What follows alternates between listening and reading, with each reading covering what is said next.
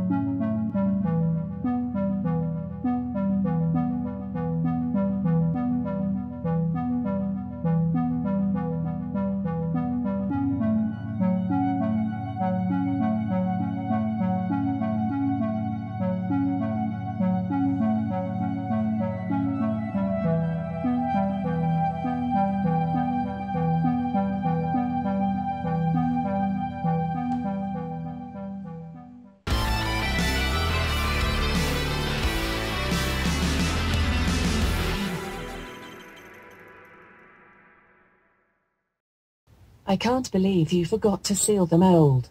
And it's not the first time either.